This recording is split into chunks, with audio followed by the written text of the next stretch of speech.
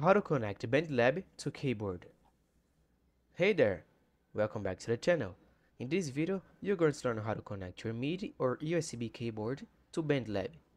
Whether you're using a computer or a mobile device, this will help you record your own melodies and beats directly into your projects.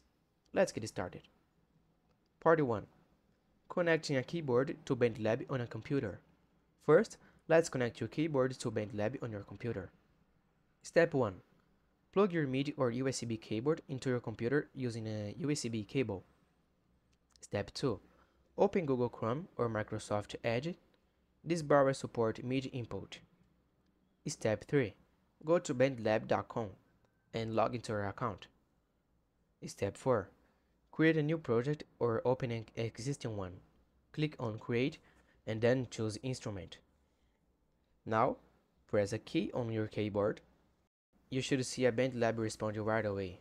If it doesn't work, check that your keyboard is turned on and your cable is secure. Part 2. Connecting a keyboard to BandLab on mobile. Now, let's look at how to do this on a phone or tablet. Step 1. Use a USB adapter if your phone has USB-C or micro USB. Step 2. Plug your keyboard into your phone using the adapter. Step 3.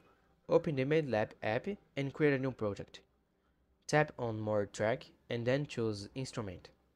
Once your keyboard is connected, you should be able to play and hear the sound through the app. If it doesn't work, make sure to give the app permission to access USB devices and check that your keyboard is MIDI compatible. And that's it.